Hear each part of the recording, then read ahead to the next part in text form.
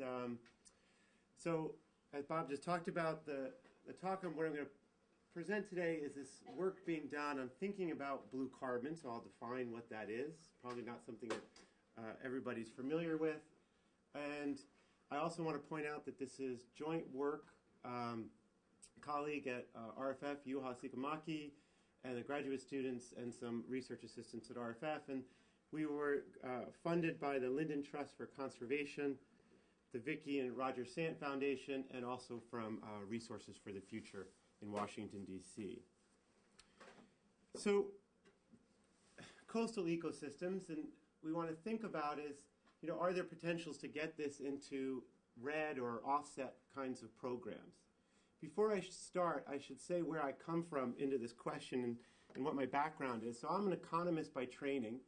I have not been one of the scholars who have spent the last 10 years worried about offsets and monitoring, verification, additionality.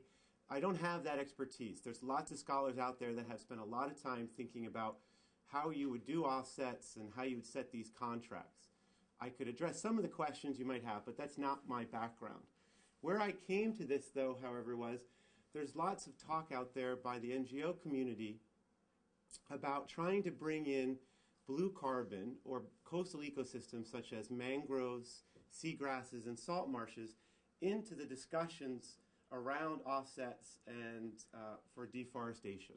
So, both at many different levels, they're trying to bring these in, whether it be at the international stage arena with Kyoto and the uh, COP agreements, whether it be uh, with bilateral agreements, and I'll talk a little bit about this towards the end of the talk, or uh, even in uh, state efforts here in California. So that's how I, I, sort of come to this question. So just to give you some background, and I'm sorry for those of you in the back, this, these slides, the print might be a little bit uh, small, so you can feel free to move up during the talk. Um, there's lots of pictures, so that hopefully that'll help. So what are we talking about in terms of the ecosystems?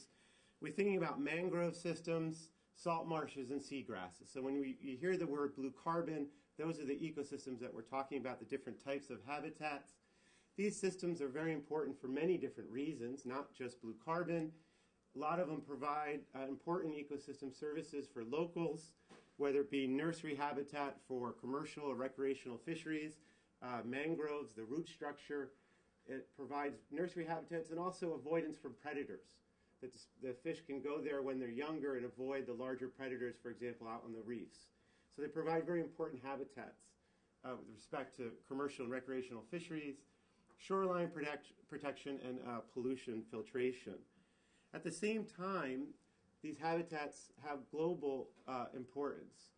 And so the, what I'll talk about today mainly is this carbon sequestration and storage. And essentially, when you think about these habitats, as you'll see when I get down to the data, a lot of the carbon has been built over thousands of years and is stored in the soil. Right? And so here's a nice profile of a salt marsh or where you see potentially thousands of years of buildup of carbon as decaying material basically settles down and uh, forms the soil bed. I'll also come back to this idea that these habitats, also on a global scale, provide biodiversity and potentially lots of other cultural services. And we'll think about some of the ancillary benefits if you target things for carbon in these habitats. What are the potential gains you might get in terms of some of the other biodiversity measures? Right? As, as I said, they provide uh, critical habitat for uh, species. So what is the motivation? I gave you a little bit of this already. Uh, there's a potential, as you'll see, that these systems can have significant, significant amounts of carbon storage, especially given how small a footprint they have in the globe. Uh, there's been a lot of literature coming out in the natural sciences trying to measure that right now, and then we'll build off of that. Um, also, there's lots of developmental pressures on these ecosystems in these coastal areas and like I said, there's lots of talk right now about trying to get them integrated into these discussions, whether it be reduced emissions from deforestation or, or REDD, adding degradation, uh, into these carbon offset discussions. Obviously, there's benefits for offsets. You guys, I'm sure there's experts in this room know this. You know the low cost emissions options, um, and as you know, there's being discussed. At the same time that we're, we're developing these conversations, we've got offsets occurring and thought about them, we don't know much about whether or not it makes sense from an economic standpoint to think about carbon offsets. You know, what is the price of carbon coming out of these ecosystems? If the price of carbon is so high that it's not going to be realistic in any market sort of system, then maybe these conversations aren't really worth the effort right now. But it could turn out that, in fact, actually, it could be very economically profitable to be thinking about offsets coming out of uh, these systems in general. So that's what we try to do. That's really the crux, this last bullet point of what this uh, research is about. So just to give you an example of the different pressures on these ecosystems, you know, they're being converted, and, and different parts of the world have different pressures. Uh, you can go into aquaculture, mariculture for shrimp farming. Agriculture is a big uh, conversion factor for these coastal systems, development obviously, and pollution. Estimates vary around the world about what's the rate of loss of mangroves. They go from 0.7 to about 2% annually. So that's the sort of deforestation rate, the loss of these habitats. That's mainly, as you'll see in this talk, while we really would like to do this out of blue carbon, like seagrass, salt marsh, and mangrove, a lot of the data is mangroves. Um, and I'll point out some of that and where we need to go in the future if we really want to think about this. And obviously, when we do these different activities, uh, we release carbon that's stored in the biomass and soils, and we also prevent further accumulation over time. And the question is, how, how big is that, uh, and what's the economics associated with it? So there's the question. Is there economic potential for blue-REDD? And the answer is going to depend on a couple of factors that we're going to try to tease out in this analysis. The first one is what is the avoided emissions per hectare from blue carbon? And then what's the opportunity cost of protecting that, these hectares, right? So if you're going to protect the mangroves, you have to understand what the other uses that could have that mangrove habitat been used for, right? That's what those opportunity costs are. Sorry, I can see people. I'll try to stand over the side.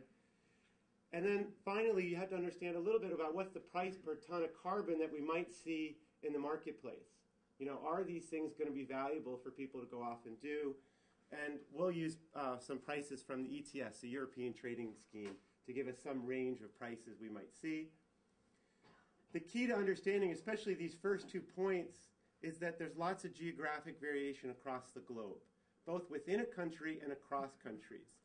And so what we do is we, we undertake what really turned out to be this Herculean effort about doing this global assessment of trying to understand the economic potential. And so what we've done essentially is we're going to break things down by nine by nine parcels or uh, kilometer parcels, which are our grid cells, which means that we have over 25,000 different grid cells where you could potentially do an offset project scattered throughout the globe. Okay, so it turned out to be uh, much more data intensive than I think we thought of at the original. But that's critical if you want to think at this level, this global assessment, what are the potential economic uh, benefits from following these kind of programs? So as I said, global assessment turned out to be a lot of data and analysis. We had to understand things about the avoided carbon emissions per hectare. So, okay, how do you do that? Well, first thing you got to know is what the carbon is per area, right? So what, how did we do this? We went around and did a lot of literature reviews. We did a, a meta-analysis of the amount that is the scientist thinks determined in soil carbon, and that varies around the globe depending on the different types of mangroves, the soil, the environments, etc. Okay, so that's getting to sort of what the carbon stock is. Now the question is to get you know, avoid it, you have to understand, well, what's the amount of the carbon stock that's at risk?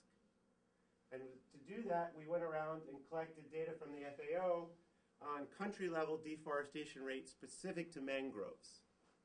Okay? And then the next question you have to ask, so that gives us some measure of potentially at risk. The, the final piece of this is what happens when you develop the mangrove. So what is the carbon that's going to be released from a disturbance? Whether, and of course that's going to depend.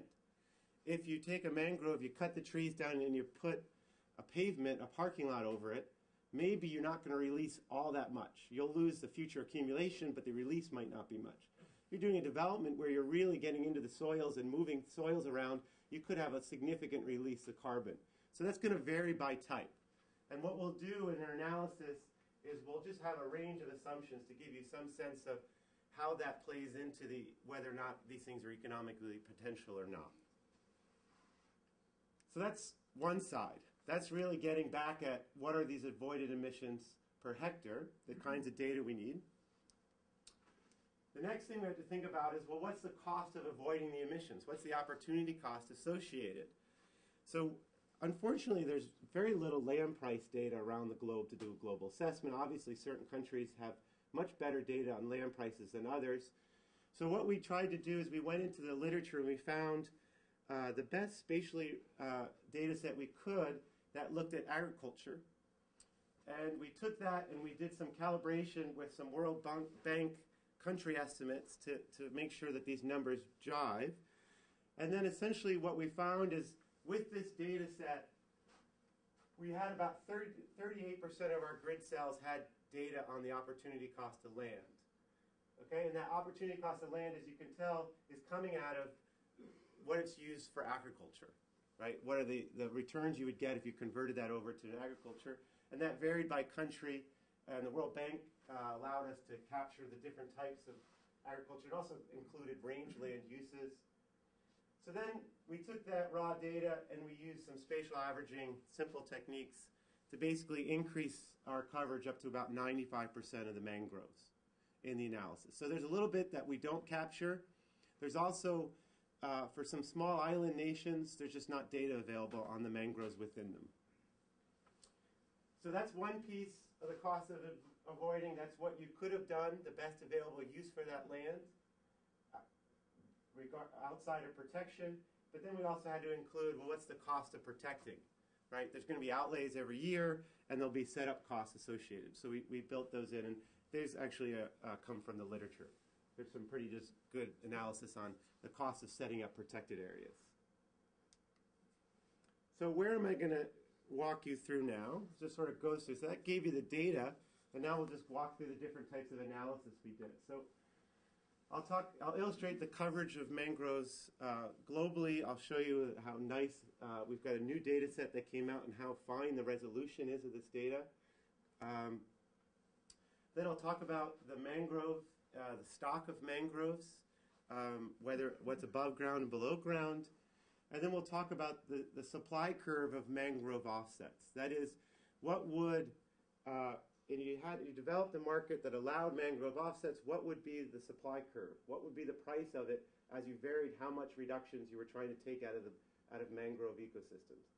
Obviously, if you take very little, you can get the low cost options out there, so the price will be low. But as you push the limits out farther and farther, the price should increase. And the question is, you know, how great and is that price increase, and and when does it uh, become uh, not economically profitable?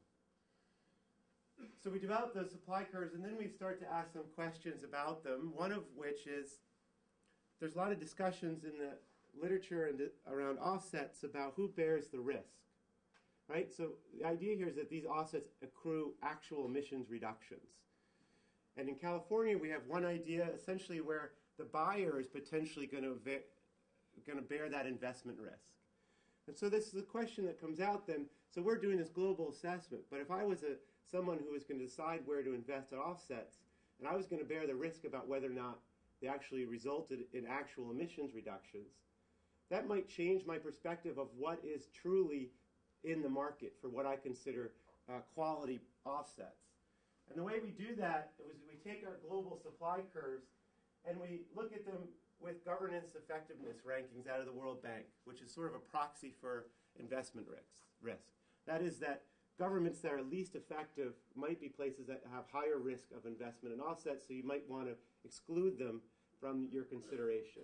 And the question is, when you start to do that kind of analysis, how does that affect the economics of blue carbon? Because some countries now won't be part of the supply, right? You'll just take them out because they're just too high a risk uh, to invest in them. The next thing we ask is this idea about, well, let's say you are going out and we know that these uh, habitats have many different values, but you were just thinking, I'm just going to target blue carbon. Well, what does that mean for the ancillary benefits associated with biodiversity? Do you, you know, if you just go after carbon, blue carbon, do you get a lot of biodiversity gains? And if you wanted, for example, to say, well, let's design offsets that focus on biodiversity gains first and then carbon second. What are the potential additional costs of doing that kind of strategy? If you had blue, these, these ideas of uh, blue carbon offsets. And then I'll, I'll come back, with, oh, I do a little bit of robustness checks on some of our data. And then I'll go back and discuss offsets and the potential for blue carbon under the current uh, structures.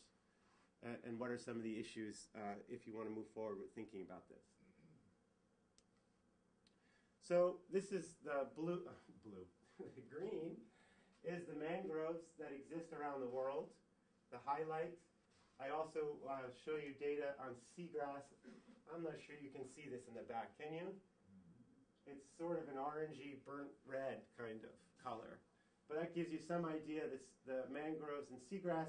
Obviously, and then this brings them together, there's some overlaps, but there are some areas, mangroves just don't exist up at the higher latitudes. And so up in um, some of the areas in Europe, you're not going to get the overlap, but down in Africa, uh, Indonesia, the Southeast, and the Caribbean, and Mexico, there is definitely overlap. Okay, that gives you some idea of where they are.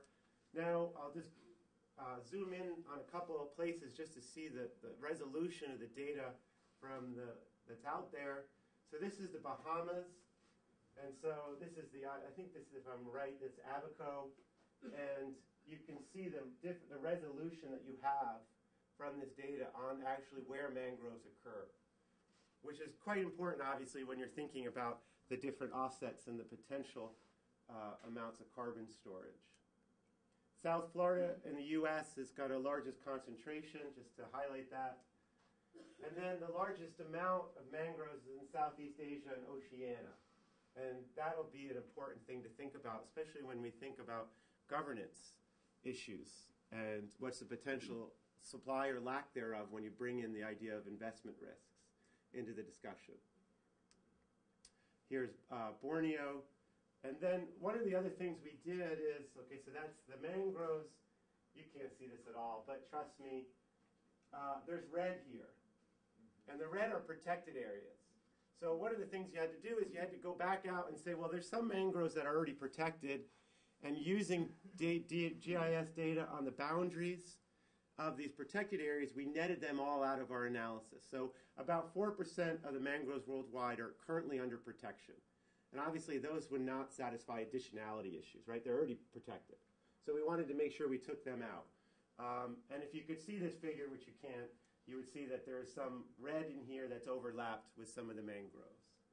We did this by using uh, the data available on protected areas around the world. So these, these squares then are that 9 by 9 grid cell. And we've got these grid cells now for everywhere around the world where there are mangroves. And we're going to come up with measures of the opportunity cost of land and the carbon storage for each of those grid cells. And then we're going to build out of a very simple, sort of back of the envelope Excel spreadsheet kind of thing, supply curves. There's no fancy math uh, involved. But that's the idea. So, you know, I don't even remember, I think it was 25,000 approximately grid cells but that gives you some sense of how we divided up uh, the world. Okay, so this is then getting into some of the results with respect to just the area blue carbon habitat. And where possible, I've given you some uh, numbers to help ground it. So total global forest area is about 4 billion hectares. Mangroves are 13.9. So, you know, you can think about 0.35% of all global forests are mangroves or 0.7% of just tropical. In terms of their uh, coverage, seagrasses are much more extensive than mangroves and then uh, salt marshes. This is just the habitat areas themselves, not the carbon yet. In terms of where the top countries are, Indonesia, Australia, so that's that southeast, uh, Asia, Oceania, Mexico, uh, so green here is mangroves, blue is seagrass. Just gives you some sense of percent of total. But really, Indonesia is a dominant uh, location for mangroves. And as it turns out, uh, blue carbon. So here's uh, the carbon stock per area. And this is tons per hectare. So uh, mangroves has the carbon stock, and so the dark blue, I, I hope you guys can see that distinction back there, is what's in the biomass, right? You can think of that as above ground in the leaves and the bark, and then there's what's in the soil, is the, the lighter blue. So mangroves, as you can see, has about 500 tons per hectare on average around the globe as a carbon stock, but a significant share of that is in the soil. Right?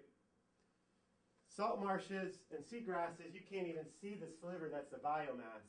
It's all based in soil. And that's going to be a potential issue right now because there's questions about how soil and soil carbon is being considered in a lot of these offset programs. So we'll come back to that. Having said that, when you look across storage across different types of forests, mangroves, in fact, are very carbon rich. So here's data that came out of a paper in Nature Geoscience. So mangroves over here, and this is just looking at one region, just to give you some sense. So this is above ground, uh, is the clear. This is soils 0 to 30 centimeters. Right? That's important because that's the current level that's considered for CDM and joint implementation programs. They're only looking 0 to 30 centimeters. But you can see as you go much deeper and below that, that's where a lot of the, the mangrove uh, carbon is being stored. And that's just over uh, thousands of years. So even though they have a potentially very small footprint in terms of overall habitat, when you actually look uh, at their carbon content, because of the soil carbon, they actually have significant amounts. They actually, you start to go, wow, okay, maybe we should pay attention to thinking about these. So this is just the global carbon stock, uh, billions of tons now. So that was an, what I showed you before was average per hectare. Now it's just, this is a global estimate. We're about 7 billion tons uh, in mangroves. The salt marshes and seagrasses, to be all honest, this data is really, there's a lot of uncertainty. Mangroves, we we've got a lot more work done in natural sciences that we can draw from. I question a lot of the salt marshes and seagrasses. It's getting better, but I wouldn't put too much weight on, on some of those numbers. So this is now, that's the stock. If you thought about what would be potentially emitted based on the deforestation rates, right? The idea that these things are being, the habitats are being lost. You think about global emissions, and this is in millions of tons. Um, deforestation from global deforestation is about 1,200 uh, million tons per year. Total blue carbon across all habitats is around 42 million tons carbon or 154 million tons CO2. This around is in italics because we're, we're summing what's in mangroves, which we think is better quality data than what occurs in salt marshes or seagrasses. But it just uh, gives you some sense of the overall size of, of what we're looking at here. So taking our grid sizes, we can of course then go back out to a country level and just give you some summary figures. Here's the carbon stock by country. So the darker the red, the greater the carbon stock. You can't read the numbers, but the darkest red is greater than 2 million. The lightest pink is from 0 to 25 million tons. That's in this that's the stock of carbon. And as you can see, there's variation around the globe, um, but mainly, as you see, it's in the, the Southeast Asia area. So we're going to go from this stock of carbon. Now we've got to do that next step and figure out what's the at-risk amount of that stock. So what is potentially going to be uh, disturbed, emitted by uh, some development, for example, conversion of the habitat.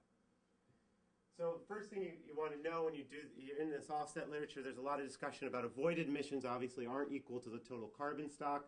As I said, we need to think about the deforestation risk because that's going to determine the probability that the stock is released out in the atmosphere. And then there's only a portion of that will be emitted. Don't worry about my equation. So the question is, how do you deal with total avoided emissions? How do you give credits? So the simple example we did, don't you don't have to worry about the numbers, is we looked at it 25 years and say that you had a deforestation risk of 1% and you had 100 hectares, right, that you were going to you could purchase and protect. Yeah, the way we allocated the offsets over time was in the first year, you take your 1%, you multiply it by 100, and you get the credit that exists in one hectare. In the second year, you've got 99 hectares left, right? But you still have that 1% risk, so you have 1% of 99. And we did that out 25 years to figure out what the total credit you would give be given for that particular uh, area protected, which is sort of standard within the literature about how do you go and think about uh, this risk over time and what the overall uh, emissions would be. It's a very simple way to do it, and you know, as far as how it affects what we've done, we have many different assumptions, and you could easily, and we have tweaked it to get some sense. So it's just a how we thought about this idea of going from at risk in a given year to what are you actually getting credit for over time when you buy these offsets. And like I said, there's probably uh, five people who have spent the last 10 years just worrying about this issue. What's the right way to do this calculus? We just tried to do a very simple way to illustrate this global assessment. So we go now, we can then take this global thing and look at emissions. So let me go back quickly and look at stock to give you some sense where the dark red is. You can look here in Africa and uh, Southeast Asia and also Mexico. So this is the stock level. Now when you actually look at the, what's at risk in these local pla- in these places, what's now dark red are the ones that are at most at risk. That varies now. It's not just your total carbon stock you have to worry about, but it's also the rate of deforestation and habitat conversion in the different countries. I just have a question. So, Sure. is this all about uh, releasing stocks, or is it also about future absorption? Are you, do you, We take into account what you, the lost accumulation that you would get if you converted that also. okay, That's so right. That's, that, so it's also, so you're just, so you're taking account of what the future absorption would be at the same time you're taking. Exactly. Okay. So there's two things you lose, right? You, oops, sorry. Uh, oops, where am I? Yeah. You lose, when you convert a habitat, you lose the stock potentially, right? And then you also lose the future accumulation. And our measures are doing both of those. We're taking both of those account. But we're, we're looking at a 25 year horizon. So as you can tell, this just shows that the variation now will differ because not every, there's not a uniform uh, notion of things being deforested in different areas. But again, as I keep saying, we'll come home to this Indian, Indonesia, the Southeast Asia question.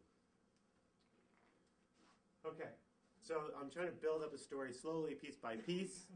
I've got you to emissions. That's question one. They're piece one of answering our question. Now we want to go from those emissions to the supply curve of offsets. So we need to think about this opportunity cost um, and what is really at, at risk here. So we do this in a number of ways. The easiest thing we do is we take the assumption that there's a deforestation risk for mangroves in a particular country. Let's go back to, let's say, 1%. And we say that all the grid cells in that country are subject to that 1% at risk. So it basically, it's uniform. Every, every grid cell in that country is at risk of losing 1% of its mangroves and stock in a given year. Now that's very simple, right? That's, so that's the base case we do, and I'll introduce different ways of thinking about uh, that idea, right? It might be that, in fact, actually, offset markets don't work that way. That offset markets look at and they try to find the lowest priced availability, and so they're only targeting certain areas. It could be that land uh, deforestation of mangroves is driven by uh, the opportunity cost of land itself. And so areas where land prices are high could be subject to development pressures. So they might be more likely to be converted and at risk. Or it could be the opposite. It could be low profitability areas are being converted, the fringe of the agriculture. So we'll do all those different robustness checks to think about how does that affect the, the price of carbon coming out of blue, uh, price of blue carbon offsets. We take all this data, then we just sort of align things uh, based on these targeting assumptions and solve a very simple problem of what the global uh, supply will be. And here's what it is. So on the vertical axis, we have dollars per ton. Everything's in CO2. You have CO2 on the bottom. The different cases are, based on uh, things coming out of the literature. So the high here deals with high soil carbon content. The low is a low estimate of soil carbon content, and we take a central one. And what you can see, rather strikingly, is that for lots, almost all of what's available, depending on your assumptions of soil carbon content, you are below the $10 price, which is the price, the lowest price that was observed in the EU ETS in, in 2011. This band is all the prices, so they've basically gone between 10 and $20. So this says that there's actually economic potential. If you've got a price of $10 and you could get a, the same thing for around 250 if you did an offset for blue carbon, well, that's actually something that might be attractive to think about. And before we did this exercise of putting all this data together, there really was no global estimates of, or thinking about what is the economic potential of this. Okay, so now what I'm going to do is just now sort of play with this analysis and go through some of those scenarios I talked about. The first one we'll do is we'll just break it down by uh, regions just to see what the supply curve looks like in the different regions. And we just broke out the Americas, Caribbean, Africa, Middle East, and then Asia, Oceania. So I'll do those supply curves by region now. And hopefully you can see this in the back, but this is Americas and Caribbean. Um, again, the colors, red is the low estimate, black is the high. That band is the prices observed. So what this does tell you is that basically all the blue carbon in the Americas and Caribbean that's available, that is at risk, falls under the $10 price. There's not a lot in terms of quantity, but all of it is pretty low cost options. Africa and the Middle East, you've got a couple low cost options, but then once you get close to the boundary, prices start to skyrocket. Um, and you can imagine some of that's coming out of the Middle East, right, where land prices can be uh, quite high. And then Asia, Oceania is really where that global supply is coming from in terms of overall quantity. Right? That if you can look here, this is the global one again. You can see, as I said, a lot of it's coming out of Asia and Oceania. Just to give you some variation of how you, you know, come to those global supply curves. They're really being built out of those nine by nine kilometer grids uh, that's the basis that we're building up to this global. And we can do this by country, we can do it by uh, region, etc. Okay. So now these different scenarios. The first one looks at uh, the role of risk and investment risks, and this idea of using, there's many different proxies we can take. Uh, we just look at the effectiveness of governance that the World Bank uh, has. They have some rankings. So, uh, and here's just a map of it. So basically, um, countries that are in dark red are in the top 50% quartile. Bottom 50 is pink. Can you see pink back there? But that's basically this. And the hashed is the bottom 10%. So these are countries, for example, if we said that the investment risk is so great, we're not going to consider countries in the bottom 10th quartile, those hash countries would go out of our analysis. They wouldn't be part of the global supply curve anymore. Okay? We'll also take out the bottom 50%, which as you can see, takes out some of the area in the southeast, but really mainly uh, takes out uh, Africa. Right? And so this is just thinking about, well, while this is a nice picture of what the global supply curve is, maybe in, in realistic terms, that's not really what it is. When you take into account the, the insights and intuition of investors and how they're thinking about investing in offsets. And so what we find is that the black line here is all of them. This is the top 90 are included, so we exclude that bottom 10, and the green dash is when we, we exclude the bottom half. So not surprisingly, when you exclude the bottom half, you lose a fair amount, right? What's interesting in the Americas and the Caribbean, and maybe it's not surprising once you see it, but there's actually virtually no change um, in the amount of carbon available, right? We're basically, in terms of the governance effectiveness, if that's your proxy, that has very little change.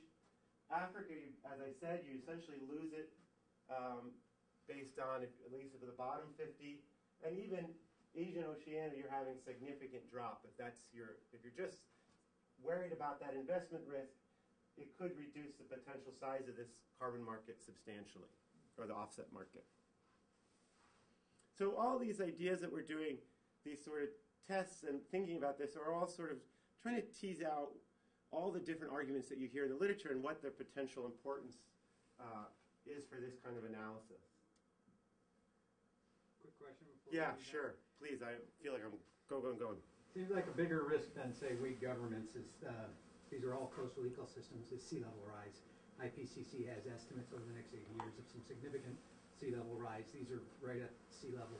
So potentially many of these ecosystems are gonna be underwater in fifty years or, so have you looked, and your GIS layers, layers will be great for being able to go ahead and take a look at how many acres are lost due to five foot of sea level rise, ten foot. I mean, that's, I think you're gonna lose a huge amount of acreage. We already know that global emissions are going up faster than the last IPCC assessments. That's a great question, and we haven't. Can you believe it? We haven't done that, but I actually agree with you, and we've been talking about doing it. There's there are some issues though that you're gonna. It's but there's assumptions everywhere in this kind of work. The question is, is it depends on what's behind these habitats currently, whether or not they can migrate up with the change. And so I, I haven't gotten into how detailed these estimates of soil or the or sea level rise are, and but we could do it. We haven't, but I agree. I think it'd be a nice thing to do, and we're all we have to do is do some match and merge and rerun. Yeah, there's a question. If sea level does rise, uh, and the trees go away, what happens to the carbon that's already there? That's a good question. I think it would depend on storm action, where they're not, whether it's getting released or not. There is some talk that mangroves, certain species of mangroves, have some thresholds to be inundated at certain levels of their roots. So it's not clear how. This is the issues, right? And then, um, even with sea level rise, unless it's sea, going over into a parking lot, we're going to have salt marshes and seagrass beds. They'll just be in new places. But you're a good question about what happens to all that storage. And I, I guess I, I, depends on the storm action in the area whether or not it's going to get distributed and then emitted. I don't know the answer to that. There's a question up front. Same question. Oh, good. Okay. Um, so when you talk about risk in terms of government, is this the idea that the government is going to abide by the rules that protect these lands? Well, that's right. I mean, there's many ways to think about what are the risks of buyer of an offset, right? And this is why third parties are coming up and they're trying to do the verification and the monitoring and the measuring and all that. Is that, you know, in California, for example, as the way I understand it, and I'm not an expert, someone in this room might have written the rules, so I'll say that right now, uh, is that you're required to put some of your offset into sort of an offset pool. So you're basically buying more than what you would have bought, and you put some into a pool to sort of as an insurance or risk sharing among all people buying offsets as a way to kind of ensure that you're getting actual emissions, even though you, know you, your particular project might not meet its intended target. So in thinking of it that way, where the buyer is bearing the risk of this, if I was a buyer of offsets, I was a third party you know, there's certain countries that just don't have stability in the government, you know, not going to be there. I'm not going to be able to get into a long-term contract where I'm going to get access to the data and to be able to monitor it. And so you might have that calculus going on in the background where then they just focus on particular countries. Um, and so that's what we did. We treat that as fixed, right? And that you would, and that's the intuition for it. There's many other measures we could have used as proxies, but that's the idea, just to give someone a sense. Government stability is. Essentially, that's what we're, yeah. Okay. So, all the areas with ineffective governments are probably the areas that have, uh, you know, lower economic levels and less development pressures and, and all that. So, so do the two offset each other in any kind of a way? So I'll say that again. So let's go back to the, Well, if you look at the map, yeah, uh, you know, probably there's a lot more economic pressure on, uh, you know, the south tip of Florida do something. I mean, you know, they're building when the Yeah. economy picks up again. They're to be building high rises, and there's you know the, the lost revenue by destroying the mangroves would you know be enormous. Whereas if you do it somewhere in Micronesia, you know, probably not. Okay.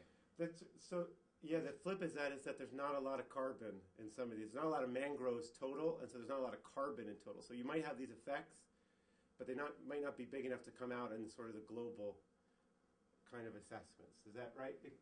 So you've got lots of issues here. So when, so the idea is that the, the, deforestation risk could be positively related to the government effectiveness. Is essentially you're saying, right? Right, well, I'm, saying that the, that the, um, substitution costs, right, are gonna be much higher in the areas where you have effective governments. So South Florida, they're gonna wanna build, you know, Australia, they're gonna be, you know, the coastal areas are worth more, uh, for, for development purposes. And so you, so in a certain sense, yeah, it's, it's maybe makes you feel better when you go to bed at night because you know there's not gonna be a junto wherever you, uh, on the other hand, you're gonna have to pay a lot for that security. So that's doesn't really necessarily get borne out a lot of place. You know, obviously, if a mangrove, you're using the intuition of a mangrove right next to like an urban center, where beyond that fringe, that's often not the case. Even in South Florida, it's not. It's far enough away. It's more towards the Keys than it is Well, I towards. use that as an illustration, But- wouldn't it generally be the case that Yeah. value of land would be higher in Australia than in uh, Indonesia? So we, you know, we use these estimates based on agriculture, and I'll come back and I'll do some robustness checks that bring this in. But to be honest, I haven't. What you want is what I don't have. Is I don't have my robustness checks with the governance mapped onto one to one. And I, I, I understand. I think you're right. We should do that. Okay, so the other thing to think about was this idea: Are there what are the ancillary benefits? So if we follow the biodiversity kind of strategy to purchasing offsets, what's the additional cost um, that you would have to incur to do that? To do that, we used data on species ranges from the IUCN and World Wildlife Fund to develop uh, numbers of species within each of these grid cells. So we took species ranges and mapped them onto the grid cell. And so what I'll show you now is just different pictures. So we looked at mangroves, that's the number of mangrove species, um, and where there are different mangrove species around the globe. Uh, so that would just be a, a richness measure with respect to the trees. But then we looked at uh, birds. So darker red is just more. I, I, I'm sorry, I didn't realize how long this room was. Um, we also looked at endangered birds, reptiles, and amphibians. Well, those things we have data for, um, for the different uh, species. So the question is, you know, okay, you follow a strategy where you want to target offsets in places where you're most likely going to get a big gain uh, in terms of the birds' uh, biodiversity. And what is the cost of following those kinds of strategies? So what this is now, this is CO2 again, and this is not a supply curve in the sense that this is the difference in the budget in millions of dollars. So that is, if you were targeting two tons of CO2, two million tons of CO2, um, and you followed a biodiversity strategy, your budget or the amount of money spent on offsets would be something on the order of $1 million more than what you already are spending. And essentially, as you get further out in the amount of offsets, that difference in budget gets up around 20 million, uh, 30 million. And we did this, so the green line is just mangroves. This is all the species richness. This is just endangered birds. So I look at this and say, that's nothing. Millions of dollars in what we're talking about trillion dollar markets if we ever do end up in a global carbon market. These are nothing. So it says, in fact, it, you know, it has to do a lot with how, how much species richness these habitats already have and that variation. But it does say that for a little bit of money, you could begin to hit other benefits, not just carbon. So I think this is an optimistic story with respect to if that's your focus, looking at these other ancillary benefits. Because in my mind, that's, that's not a lot of money uh, that we're talking about. So here we did some of these robustness checks. Okay, so remember the base case, which is this what I call uniform, is this blue line. That's the global supply curve where the at-risk amounts of mangroves is spread out evenly within a country. Now we start to say, well, what happens if there's some other kinds of targeting strategies for buying offsets? The lowest cost one is what if you target things based on their carbon cost. So if you basically go around the world buying the cheapest ones first based on the carbon price, and then you build up, and that's that red dotted line. That's the cheapest you could do this at. Okay, so what that also says is that the areas at risk are the, also the ones that have the lowest carbon price. Those two things happen just by coincidence to line up, but that's the lowest price you could get, right, following the strategy. Then we ask the case, well, what happens if all the at-risk uh, mangroves were in areas of low land rent or low prices versus high prices of land. How different would that be? Again, just to give us some sense of the robustness of our results. And the, the worst case is the high land prices. So if all the carbon that was at risk was at on the urban fringe, right, that's how much additional budget you, or amount you'd be spending, right? And it's not significant. If you remember that $10 was the lowest ETS, we're still getting almost close to the full amount of at-risk carbon in mangroves before you get up to $10. Even at the, the worst case scenario, the idea that everything aligns with the highest prices. Okay, this next one, Indonesia. So there happens to be some trends going on in Southeast Asia with respect to oil palm. Oil palm happens to be a highly valuable crop, um, and it's being there's government programs to increase the spread of oil palm throughout. So what we did is said, what's happened if in all of Indonesia, all the mangroves were subject to moving into oil palm, which is again not likely, right? Because oil palm typically likes to grow at upper elevations, but there is some conversion of mangroves. But so this would be the worst case scenario. This is like the highest opportunity cost of land you can get for Indonesia right now. Is everything's being converted into oil palm. And the question is, how does that affect the, the market? We also did the same, we looked at Thailand because a lot of that is going into shrimp farming. So we wanted to know what are the implications if we took values from shrimp farming or oil palm and, and went to our global supply curve. So this high is the base case that I illustrated earlier with high soil carbon. The red is the base case with low soil carbon. So if you everything was going to oil palm, essentially prices would, would dramatically change, right? The global picture for blue carbon offsets would be different. And you're basically having this sh- inward shift, right? So we went from a price around $2 at 6, now we're up to, I don't know, 4. If you're down here, you went from 2, and now you're already going up to $10. So that's a significant difference. So what this says to us is, and I'll come back to this, this global assessment was nice in a way of showing us what the overall picture is, but of course we want to get in now and get a really much more detailed picture, especially in places like Indonesia and Thailand, about how deforestation of mangroves is occurring. What are the fundamental drivers and what are the, the true opportunity costs? Because obviously it has a potential large impact on, on the, the economics of uh, blue carbon. So, in terms of uh, climate policy frameworks, well, I don't know. You know, if I gave this talk a week from now, I might not have this first bullet up anymore.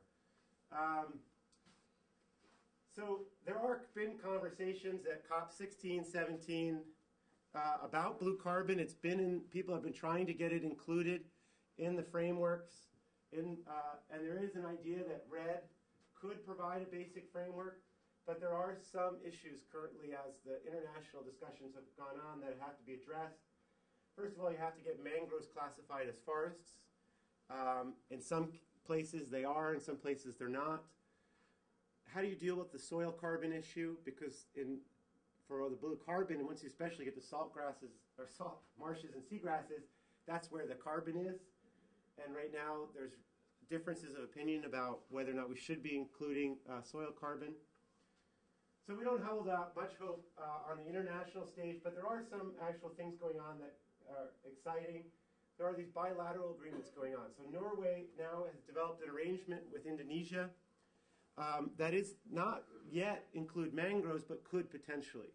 They do have forests and peatlands, and so there's a possibility that we could bring in mangroves within this partnership, right? Where Norway is now essentially buying offsets from Indonesia outside of any general agreement just because they feel like that's the right thing to do.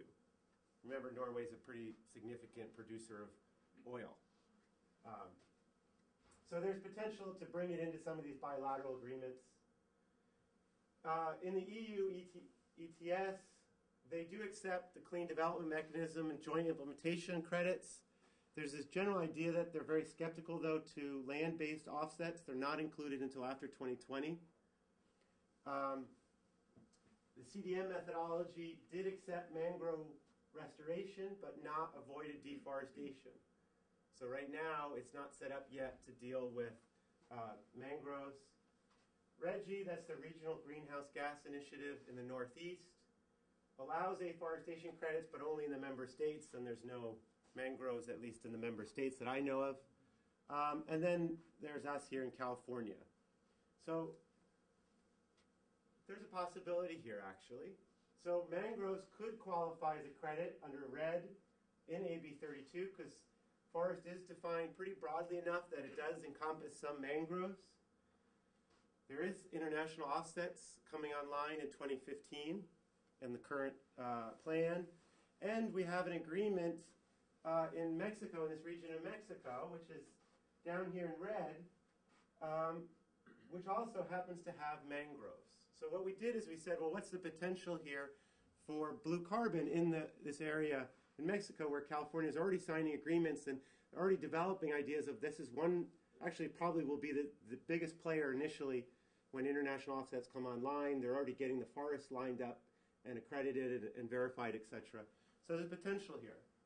So what we did is we took the region and we said, well, how much mangroves do they have? They have about 192 square miles. They lose about 600 hectares uh, annually. Each of the hectares contain about uh, 936 tons of carbon dioxide that could be released in the atmosphere. And our cost estimate has it about $2 per ton, which is pretty competitive. ARB's got one of their projected allowance prices in 2020 are 25 dollars per ton. What I understand from the forest offsets from this region, their pricing range is somewhere between 15 and 20.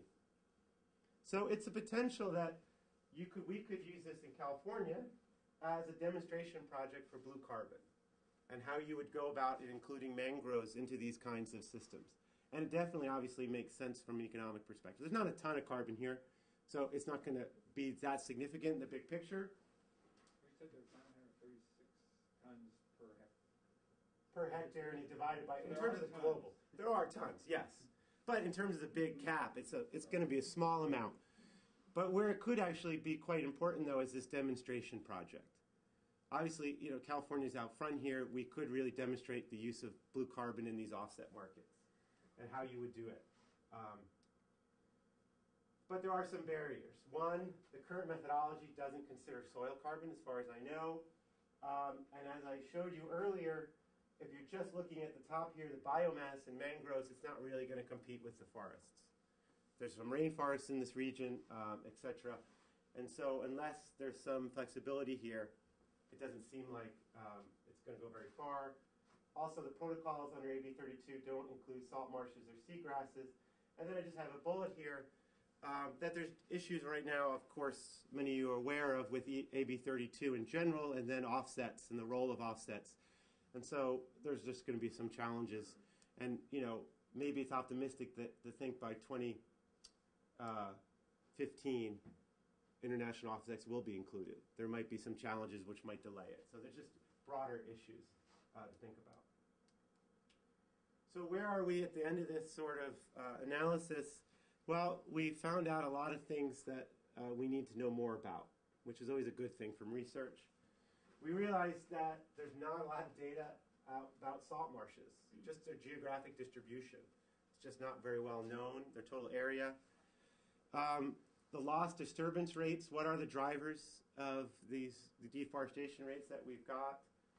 And then what happens after you disturb them? You know, what you find in the forestry realm is they've got these large forest simulation models, right? That they can play out all these scenarios. These models have been built over hundreds of years around forestry and how to maximize the return from forest productions. Now they're using them to figure out how to model offsets. We don't have that. So when they go through and do a disturbance in their system, they have a pretty good sense of what the releases would be. We don't have that for blue carbon. We don't have that in salt grasses, seed marsh, did I do that again? Seagrasses and salt marshes and mangroves. And then the opportunity cost of preservation, um, what I illustrated, those robustness checks, we really need to have better information. So we, as I said earlier, think the next step here is if you want to go forward with this is to do these more localized uh, assessments or on a regional basis um, to get some sense of all these different pressures. And then finally, you know, we're just dealing with carbon preservation. We talked about biodiversity, but there's lots of other reasons that you might want to conserve these mangroves. There's the sh- shoreline protection from storms, there's pollution filtration. Mangroves provide uh, services with respect to water purification. And as I said, they're very critical sometimes for the commercial and recreational fisheries just offshore of the mangroves. Often you don't fish in the mangroves. You might go crabbing, but you're not fishing there. You're mainly fishing offshore, often in, in the coral reefs. So there's other reasons for preservation that we're not uh, considering in our analysis. And so, uh, just to tell you, there's a forthcoming report from Resources for the Future uh, that'll be available publicly, and it should be out within the next couple of weeks. Feel free to contact myself or my colleague at RFF, Juha, who's the sort of lead author, if you want any more information. But this will be available, and maybe we can have a link on your webpage once it, we get it done. But thank you very much. Gracias.